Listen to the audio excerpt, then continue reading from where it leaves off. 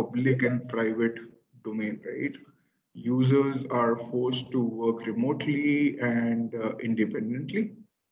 And applications are still siloed and remaining back in our secure on-prem ecosystem.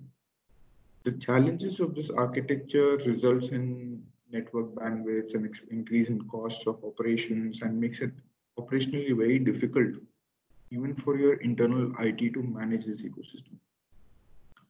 By some of the use cases that you will see in this webinar today, we will be able to showcase how to simplify this uh, unique situation that we all are in together and what are the best steps in which you can make these changes and in the fastest manner.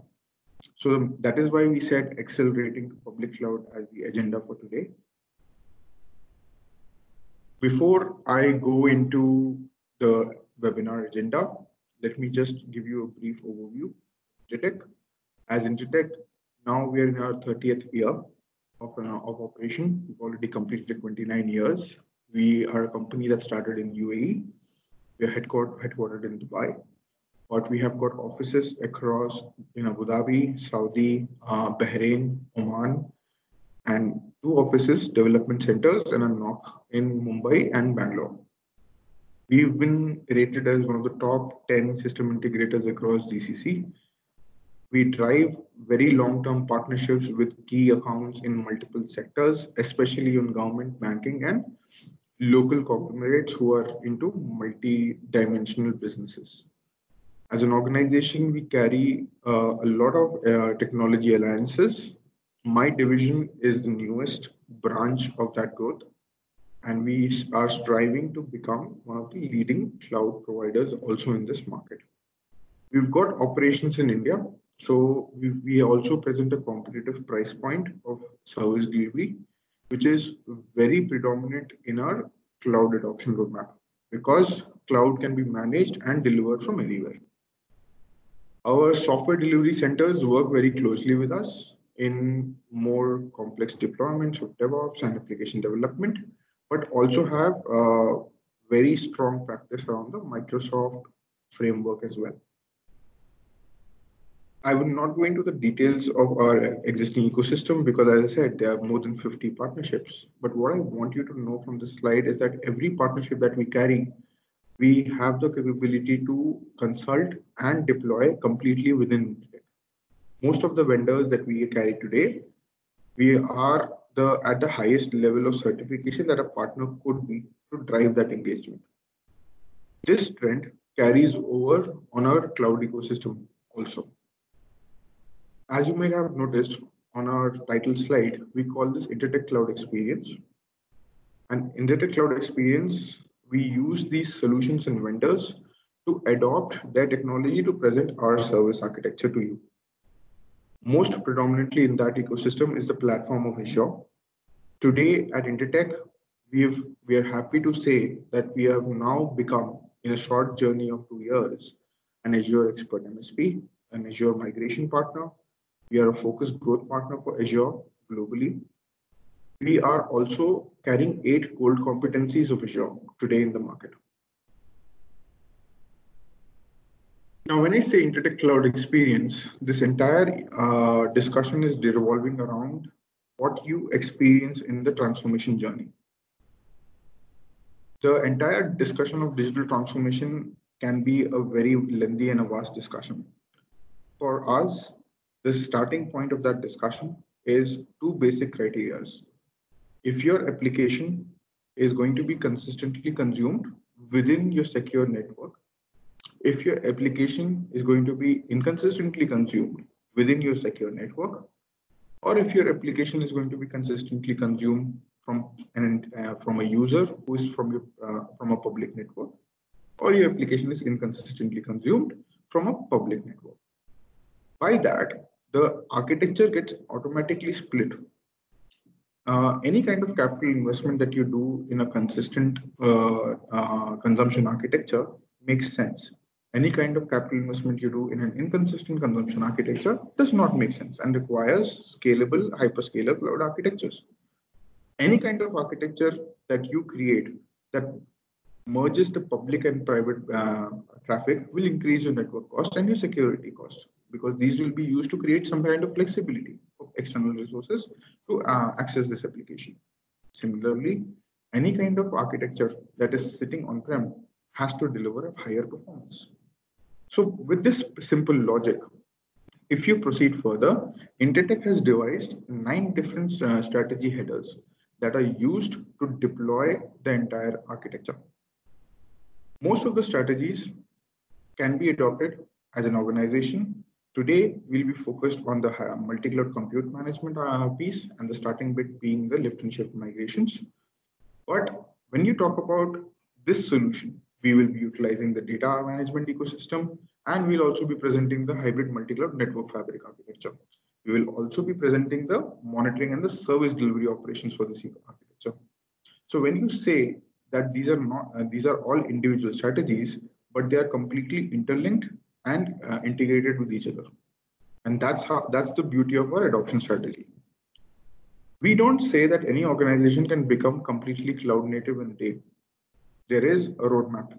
Our major focus to, uh, till now, we have had a three webinar series this month, and this is the last webinar uh, of that series. Our focus has been to drive SaaS adoption. We did a uh, with where we clubbed the backup and DR services. We focused on the modern workspace solutions, where we went up to the VDI architecture because that is relevant to this time. And now we are focusing back on the public VM setup and how that ecosystem would function. In today's webinar, we'll be talking about the lift and shift and the file share on the cloud ecosystem also. Today, uh, we will have presenters. I will be presenting the basic overview. I will have uh, Ganesh talking about the cloud assessment framework. We'll have a presenter from NetFoundry, and I will be taking care of the NetApp presentation as well. The before you start adopting a public cloud architecture, there are two prerequisites. The virtual machines are not managed completely by the platform. There are attachments that you need to consider before you start moving to public cloud. The two prerequisites of connecting to any ecosystem are how is the data being managed on that architecture and how is the network connectivity to that architecture. If you consider, carefully consider these two points, these go hand in hand with the entire ecosystem. Now, I would like to hand over this discussion to the technical manager of our implementation, which is Ganesh Prakasam, and he will take over the discussion on cloud assessment framework and our ideology as to how we move to public cloud.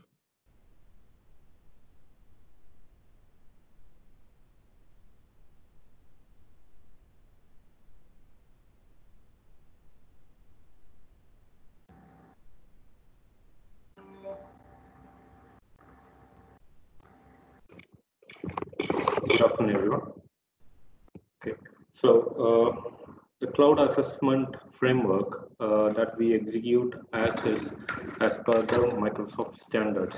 So we carry the same uh, we carry the same uh, structure of uh, assessment that is followed by Microsoft. So starting from the strategy point of view, like uh, we understand why customer wants to move to uh, Azure cloud and what is the reason behind all the requirements that we understand. Once we do the understanding of why customer wants to go, then we initiate a plan. So that plan consists of the understanding of the existing infrastructure, what kind of workloads that can be migrated and how it can be migrated. And moving on to next is ready. So once we understand the plan of what is to be migrated, then we initiate a, you know, complete Azure setup to make the infrastructure ready on Azure level. And once it is ready, then we initiate a pilot migration. Once the pilot migration is done, then slowly we move all the new applications from priority, whichever is uh, sequenced as per the priority, and then we move each and every applications to the cloud. Now, during this process, so you must be seeing is like there is a continuous monitoring and governance to be followed in Azure. So it is not only after moving that we have our work is completed. We need to ensure that it is completely managed and monitored on a continuous basis so that we continuously see the cost efficiency in terms of what is the cost model, whether there is an increase or decrease in the cost model, so that there is a option to optimize the resource running on the cloud. And then managing those setups is also a continuous process after the cloud adoption framework. Yeah. Okay. Now, in many organizations, we must be uh, thinking like, uh, you know, uh, what is the triggering point uh, for the migration? So we would be uh, thinking like, uh, you know, can I go now? Can I do the migration? And a few of the customers, they must have seen the drastic, you know, change in requirements. They are dynamic to their organization. They need to support their business. So in that angle, if you look at, there can be a reason that uh, you know uh, migration of uh, data uh, data center, or you know reducing the cost of a data center, or there is the integration of my business application with a third-party application. So for the enhancement or some other integrations, or there is a drastic capacity need that needs to be done. So based on that driving factors, you might be thinking of moving to cloud. So is also one more thing important like uh, the on-premises security threats. Like, uh, am I compliant with my security standards? Am I, uh, are I, am I saving those data properly as per the uh, compliance or ISO audit point of view? So those are all the key points that triggers the uh, migration for cloud.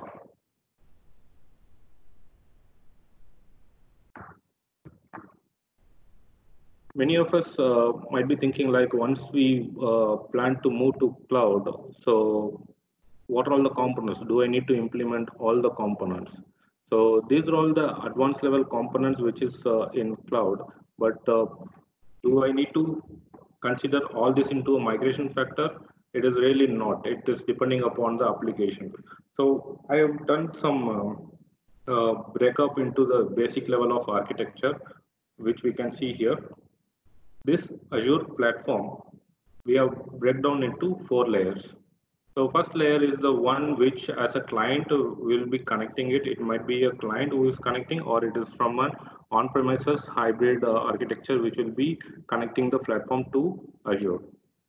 The next layer will be an integration layer which comes into your front-end services mostly either a firewall or a network connections or your uh, other uh, access controls those kind of services will be coming into picture as a first layer to allow an access to your applications.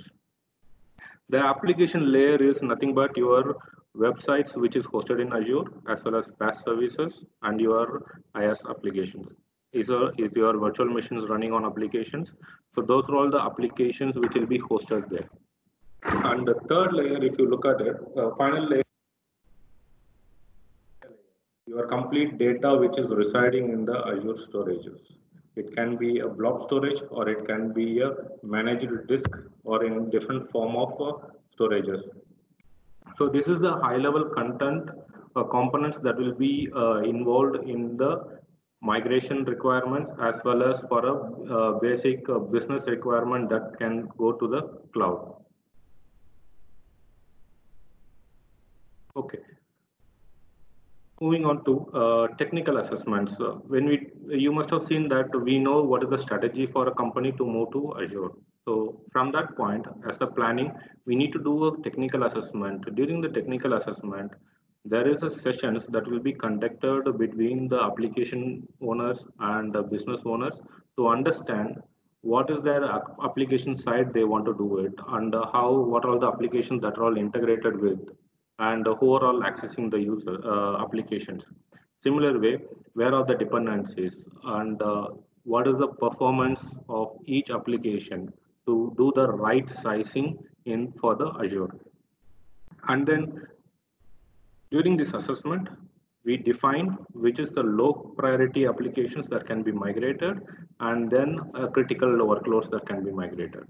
So as a pilot, there will be a migration that will be performed for the test environment or uh, low priority applications that will get migrated. And once it is migrated, and there will be subsequent testings will be done along with the application owner. And finally, once it is uh, uh, once it is confirmed everything is okay, then uh, subsequent applications will be replicated and kept it ready. So once there is a cutover is defined between the applica uh, application owner and the end user and the business, the cutover will be performed and it will be completely moved to the migration. So once the migration is completed, what is next? There is a governance will come into picture in terms of what is the resources migrated and what is the current uh, sizing, which is as per the sizing and as also a regular uptime uh, governance as well as security part of it. There should not be any kind of a security breach. Is there any uh, uh, uh, environment is protected? My data is not going anywhere. So how this tightly connected and how it will be tightly uh, you know secured so that the data is not moved anywhere. And um, finally, we also do the optimization in terms post assessment and post migration what is uh, planned and what is requirement. So once you move to uh, azure because of the latest technology there are uh, more number of uh, uh, performance improvement you will be getting it because of the uh, azure cloud services. So by that way there is a possibility that you can reduce the uh, sizing of virtual machines or uh, compute level you can reduce the sizing as well as you can also do a, backup changes. So those are all continuous monitoring and uh, optimization that can bring into uh, picture. So this will be a continuous process from the adoption starting to the complete uh, management uh, section.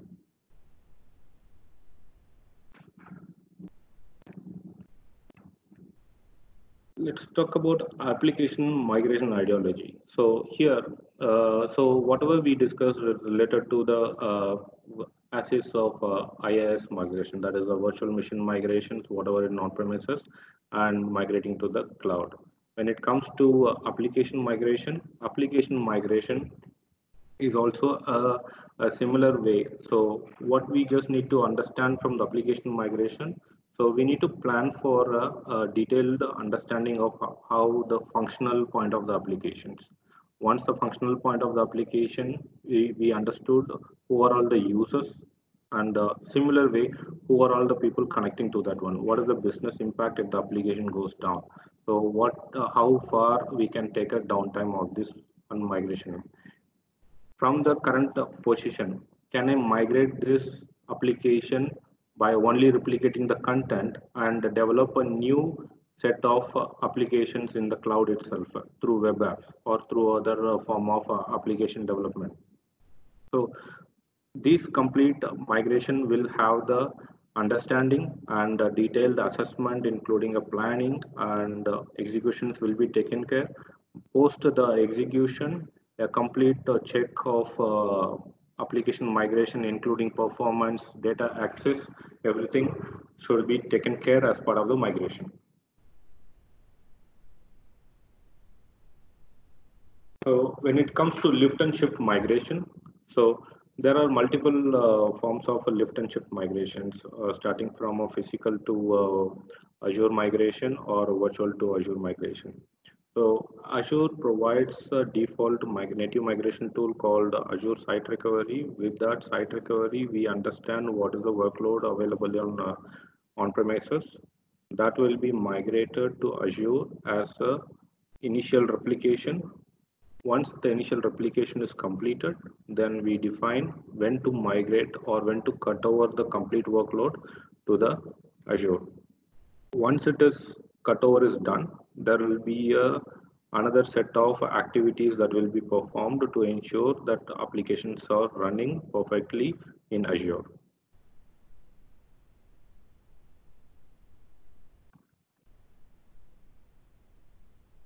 This, these are all the basic uh, application appro approach for the migration from IaaS to and uh, PaaS.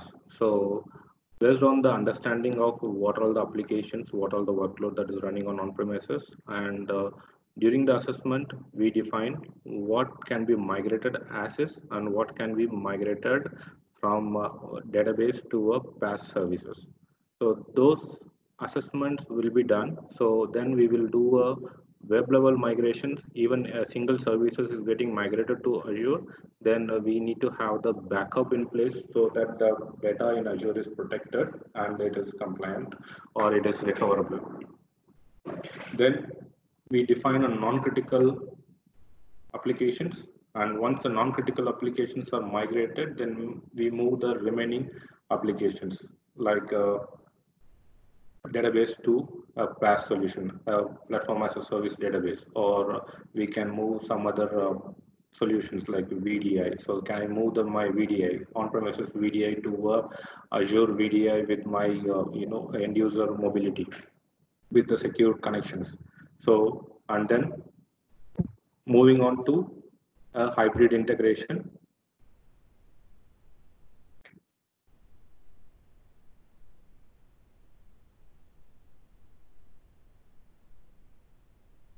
So in the governance and monitoring, so we uh, do a regular uh, monitoring of the Azure environment. So whatever is migrated, so through our uh, monitoring system, we manage the complete uh, environment and monitor the complete environment with a, a detailed monitoring, which can provide uh, understanding of the application where it is integrated and also provides a detailed uh, information about where is the root cause of the issue. So when there is an issue is triggered, it is not a basic monitoring uh, system alone. It can provide a detailed understanding and detailed information about where is the bottleneck of your application, why your application is going down. So it will go into that uh, detailed information to capture and showcase that this is where your bottleneck is, that is where uh, uh, your applications are uh, either slow or it is down. Yeah. Okay. So thank you, Ganesh. Thanks for giving us thank the you. architecture and the uh, methodology by which uh, partner customers or customers can adopt public cloud. Now, while we were discussing this, you must you all must have thought thought how users are going to connect. Today, everybody is connecting locally. Tomorrow, people are sitting at home. How are users going to connect to two different application silos?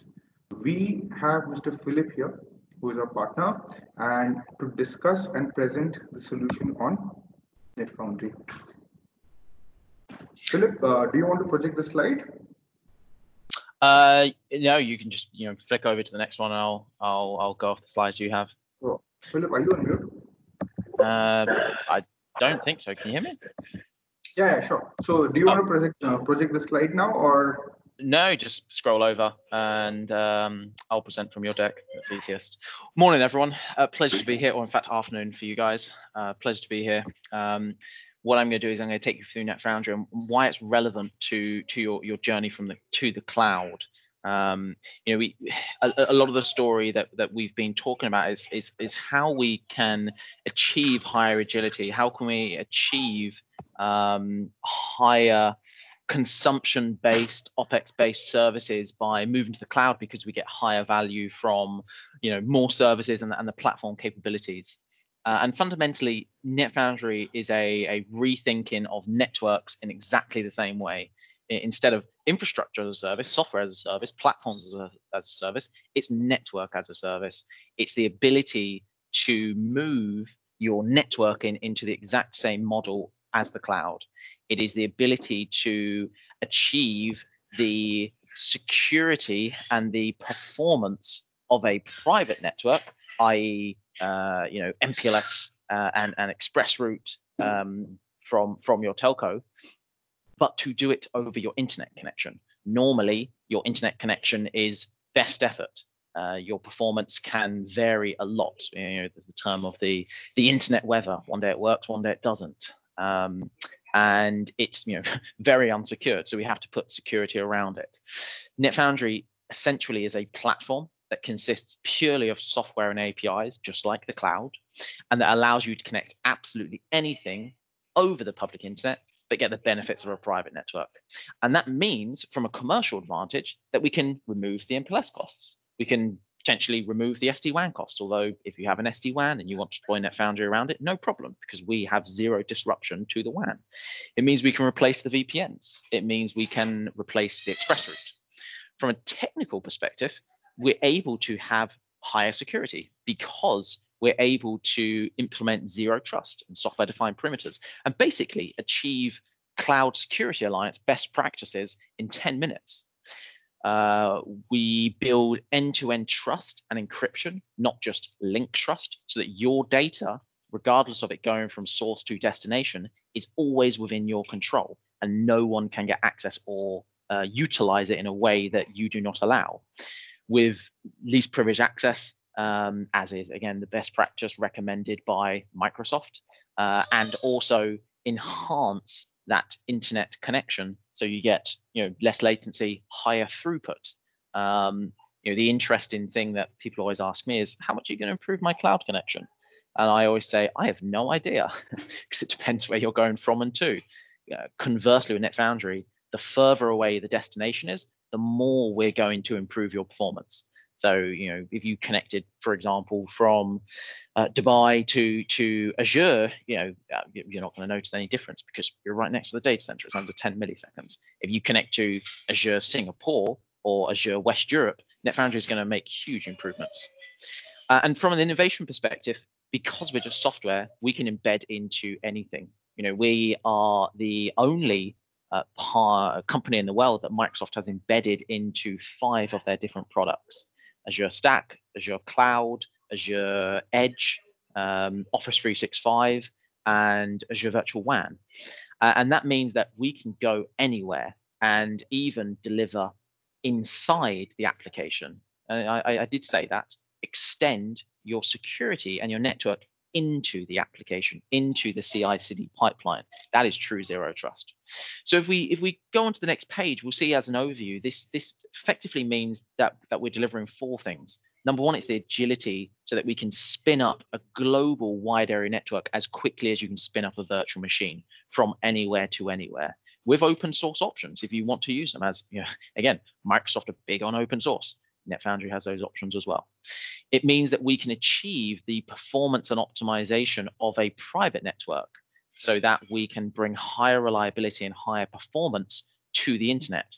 How do we do this? Because normally people say, no, it's not possible. You can't, can't make the internet better. Effectively, NetFoundry, we've deployed a virtual network. Uh, you can almost think of it like a, a virtual MPLS, but on top of the internet. We exist within 100 POPs. Um, and those POPs are going to be anywhere between source and destination. So you don't have to hop onto our network to optimize it. Right from your source, from your laptop, from your mobile, from your branch, we're going to enhance that connection and we're going to find better paths uh, so that we basically build a lossless overlay mesh on top of any internet connection. At the same time, we deliver the security of zero trust, of software defined perimeters, of least privileged access control um, with API integration. So, for example, uh, we've done integrations with uh, Azure Active Directory so that we can pull in access groups. We've done integrations with um, Microsoft Intune so that you have to um, meet the conditions of conditional access policy before a network is even built. So, you know, correct geolocation, encryption on the laptop, any policy that you can and want to build within Microsoft, we can implement that as a context as to a network being built. And that's all done on demand in minutes, consumption based. And because we're not having to ship hardware or circuits, a wire or a box, we're able to make large cost savings and deliver you much higher value on top of your internet and do it all with cloud orchestrated tools because it's just APIs. You want to use ARM scripts? No problem. Use ARM scripts. You want to use Terraform? No problem. Ansible? Whatever. It's all APIs and infrastructure as code with zero disruption to your WAN. And it's not just us that are saying this.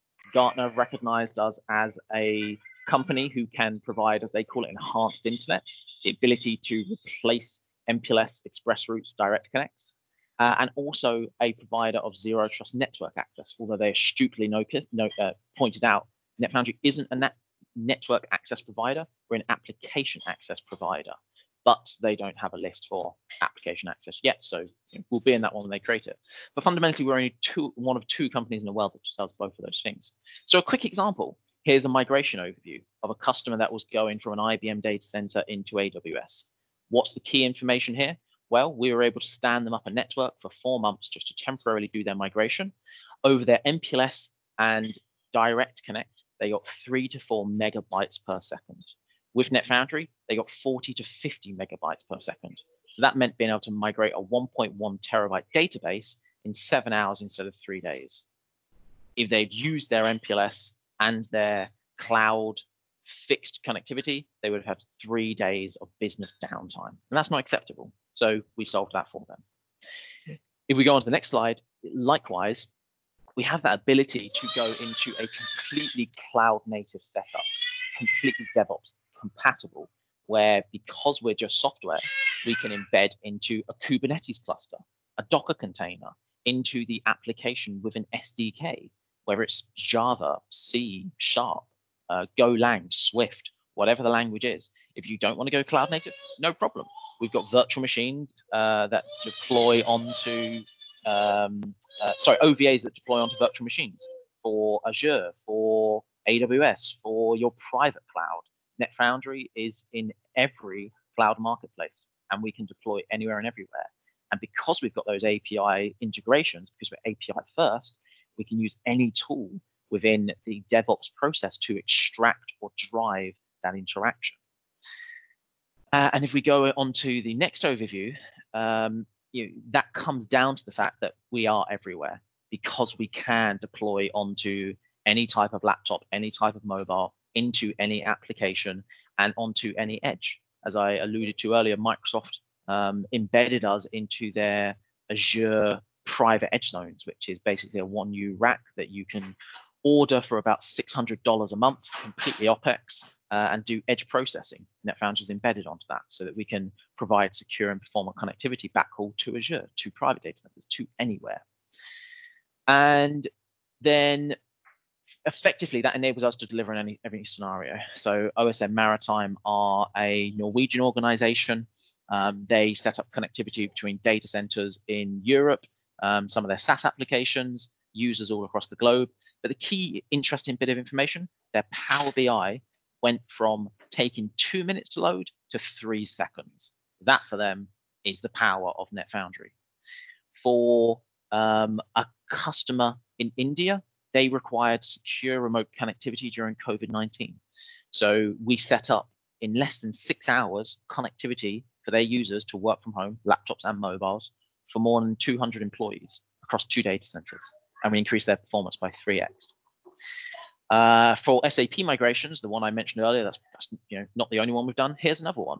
Uh, a customer was doing an SAP migration, and they they literally couldn't get enough throughput on their network. So their telco said, increase your bandwidth. So they increased their bandwidth by 4x. Still, they couldn't get enough throughput on their network. They were building up a backlog of all the data.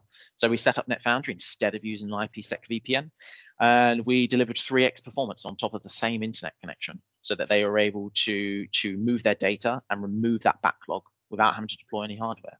So effectively, NetFoundry works anywhere and everywhere we give you that ability to have high performance, high reliability, high security, and to not have to tie your cloud to the ground. If you're going to the cloud, why tie it to the ground with a fixed consumption-based network, um, uh, which is incredibly expensive? Instead, use NetFoundry on demand with much higher value for your organization. Thank you. So before I go into the next discussion, I want everybody to really think some of the biggest questions that come across in the local UAE market. If I move to cloud, will my network cost go up? Will I have to set up a larger VPN tunnel? Will I have to uh, procure express route connectivity? How will I secure the connectivity to the ecosystem? With this solution that you've just seen, it's not only simplified, rather optimized, and you may, you may be as well removing your MPLS connections because your users and your application are on the same layer of security and they have the same private network that they share. but also it is optimizing the entire network and giving a better performance than the MPLS connectivity. Can you use it for a small period of time? Yes. But once you adopt it, there is no comparison to that ecosystem. So that covers the first prerequisite. And I would like to thank Philip for giving such a uh, wonderful overview of this. Uh, I will be taking the discussion now towards the data architecture, the another prerequisite, which is also a big concern. And uh, until recently, a lot of uh, public sector and data sovereign uh, compliance customers in healthcare, in banking sector, did not adopt public cloud because of the data sovereignty issues. Now it's more towards how the management is happening. Where are my uh, backup records and availability managed? And how is the ecosystem going to be compliant with your existing architecture? Intertec today is one of the only global companies who has a managed enterprise uh, service, IPQCell, on Azure Marketplace. We've built that as an offering which is managed and delivered on your tenant. What we are re replicating here is the basics of an enterprise grade architecture with multiple use cases. For example, in today's day and age, you don't talk about direct attached storage in any manner. Whereas natively, virtual machines in Azure are delivered as a direct ecosystem where disks are single point of failures. So we created a highly available storage where we had a guaranteed zero RPO failover architecture. Do can we replicate or take volume-based snapshots or granular snapshots in uh, Azure ecosystem? The answer is no. You can take disk-based or service-based snapshots for replication. We bring this overlay to ensure volume-based operational snapshots that you use to take in your enterprise ecosystem. Can you do virtual storage tiering, which has been a concept in the market for a very long time? So virtual storage tiering is possible in our solution, and you can tier it down to blob storage for a cold uh, backup ecosystem. We're delivering a unified storage architecture. We're delivering NAS, uh, NFS and CIFS architectures, and we're del delivering iSCSI connectivity. This, uh, this solution is also capable of delivering the S3 protocol. Now, with the storage efficiencies, this solution is predominantly fit to optimize your cost of storage. Storage is going to be the permanent cost. It cannot be, it is going to be always active. Storage is not going to be uh, exponentially used only for the hours of consumption. Storage in Azure is always going to be active 24 7. So storage is basically going to be one of the majority of cost of the Azure adoption. By bringing in storage efficiencies like thin provisioning, deduplication, and compression, you are actually reducing the entire footprint and actually paying as you grow. Similarly, there are other advanced features like encryption, which is third-party encryption, which is controlled by you. No other person in the world has access to the architecture, and persistent Kubernetes or ecosystems that we'll discuss later. What are the reasons why you're adopting? Basically, we are giving control of the data back to you. The biggest concern that any IT ecosystem would, IT head would have. How do I control my data in cloud? Well, we are giving you the full control, the encryption, and how you replicate and manage that ecosystem. You control your data. It is an enterprise grade management architecture, so it is nothing new that you would be doing. You would be doing volume-based snapshots, you would be doing replication, you would be doing tiering setups, you will be doing thin provisioning and expansion of capacity based on volumes. Also, it does a one up there, it automatically expands when demand, demand uh, capacity is over uh, up to a certain level. You can bring in automation, which is native to the cloud. It is highly available. There is no single point of failure on the data architecture, which means you're giving an enterprise grade availability also to your Azure ecosystem.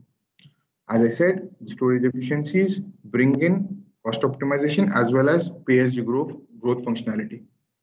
This ecosystem has advanced hybrid integration, which we will discuss maybe in the, uh, in the future stage. What are the use cases? Biggest issue today, your users are sitting outside your LAN network and they're accessing a lot of data, reading and writing a lot of data over expensive MPLS VPN connectivity unless you have our hybrid network architecture. But even then, this is a burden of not highest priority. These user data could have easily be sitting in public cloud where they are using only their private internet access to ex, uh, uh, extract data, but not. But this is an enterprise-grade centralized data architecture. You are not using peer-to-peer -peer connectivity like OneDrive or Dropbox to save the data. Here, the company is centrally managing the data architecture and putting policies and controls using Active Directory. Presenting that kind of an ecosystem on cloud is of the first priority in this architecture, in this uh, day and age. If your users can use their private internet and get the access to data which you control in the public domain, that is the first priority today that you should be looking at. Can you move your existing file share to cloud? Yes, we can use Veeam which is a partnered solution. We've done the workshop. The first webinar was for SaaS solutions as a pay-as-you-go option for a few months to replicate this data. And we can move your file share to cloud. It can also integrate with your unified storage ecosystem and bring your NFS blocks to the cloud also. So you can use Veeam for your third-party platforms to bring your data from uh, existing file servers or unified storage ecosystem to the cloud. And since we are presenting a unified storage on cloud as well, the SMB protocol exists and the NFS protocol exists. Another interesting use case is that we use the same ecosystem to, uh, to deliver profile container uh, uh, uh sharing ecosystem for our managed VDI architecture. Over here, we are not using it as a data repository. We are using it as a vehicle for extremely high performance guarantees for every user by deduplicating the master image architecture, we are negating the need to have a uh, negating the possibility of, of a bootstorm that can ever happen. As you can see, this also integrates with a network fabric ecosystem we've just demonstrated to give optimized performance and connectivity. So the storage ecosystem here is a basic game changer and why endpoint computing on cloud is now possible. This ecosystem is negating the requirement and giving the control back so that every user is guaranteed the minimum performance at the time of boot. There is no bootstorm. Another functionality that, that, functionality that you should consider is that we, have, we are presenting iSCSI connectivity, which is a SAN connectivity, which is usually used for your hosting of your virtual machines. In Azure, you've got availability zones. UA is an availability zone. You've got of availability in this region, which is in UA North, which is in Dubai, and UA Central, which is in Abu Dhabi. Can you have a high available architecture supporting your applications uh, set today? The answer is yes, with this application you can. With this storage architecture, you can have synchronous data ecosystem working together, presenting to the same application and IP. This implication also can work as a back, uh, as a primary and a DR setup on the storage level replication. Application level replication is good when you're talking about data intensive architectures like SQL and databases. But having a native storage to storage replication function built into the native storage architecture, which you deploy before migrating to cloud, is going to improve your operational functionality also. I'm not going to uh, take more time, but there is an interesting use case, which is a final use case. As you've been seeing that post as is migration, the next step is to modernize your application stack.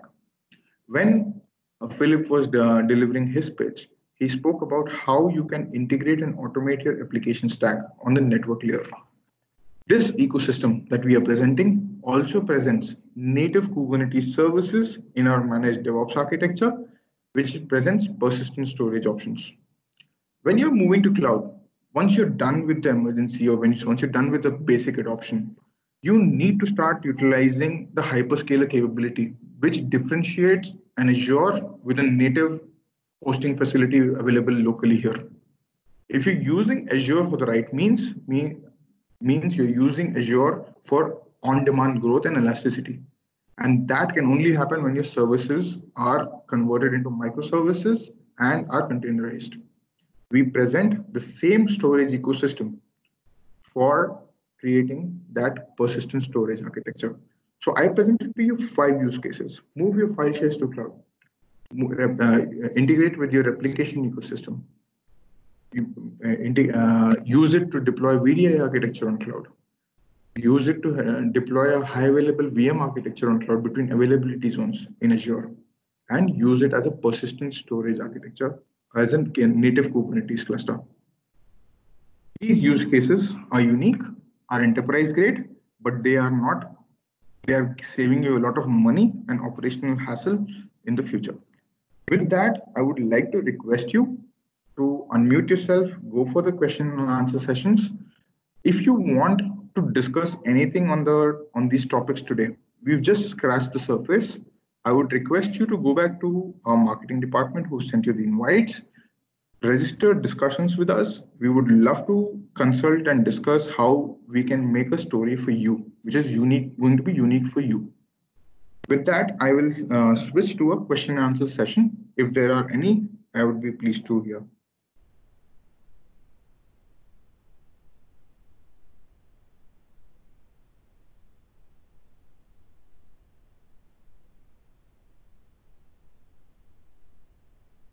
Or if you prefer to chat, uh, type it in the chat, I'm okay to answer in the chat.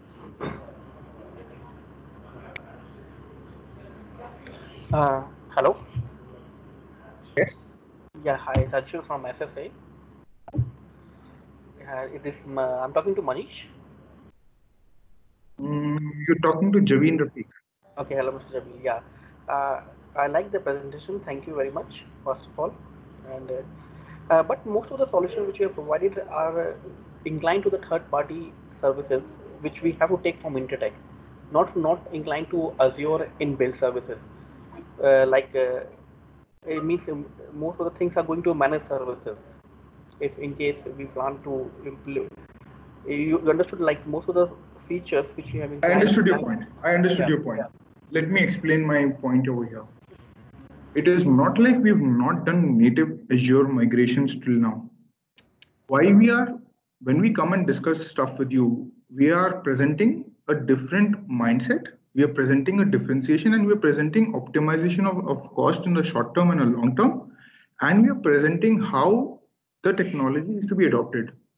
All these solutions that you today, if you go on an Azure marketplace, you will see more than 700 to 800 different IP solutions which improve the utilization story of Azure.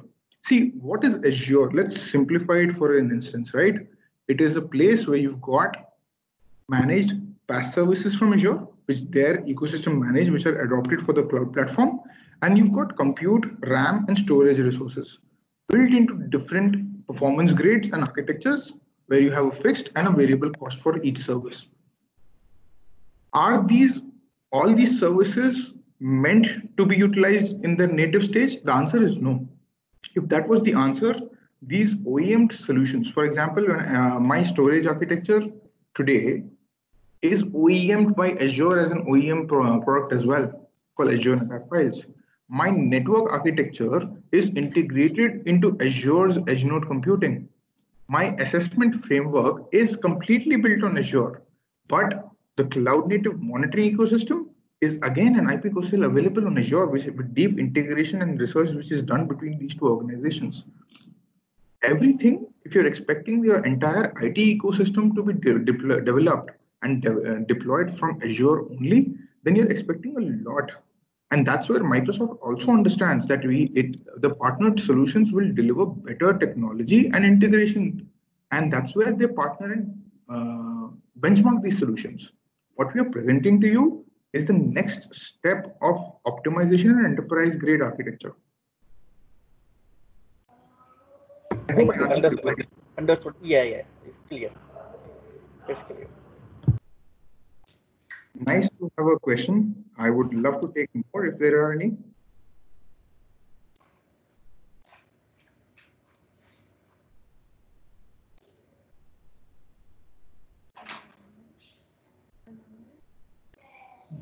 I think so we have none. So I'm happy. I think so we delivered a good, clear content or we did not, we were very confusing. Either those two are correct.